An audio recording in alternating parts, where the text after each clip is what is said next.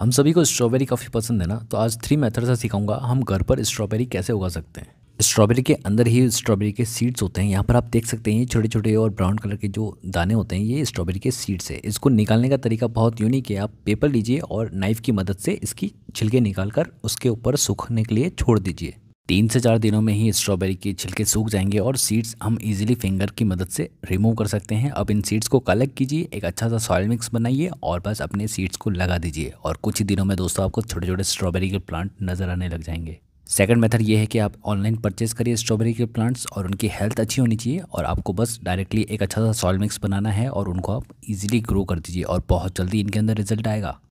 अब तीसरा मेथड ये है कि आप एक प्लांट परचेज़ करके लाइए नर्सरी से और उसको एक पॉट में उगा दीजिए और बस फर्टिलाइज़र ऐड करते रहिए और लीजिए आपके पास बहुत सारे स्ट्रॉबेरी के प्लांट और स्ट्रॉबेरीज अवेलेबल हो जाएगी।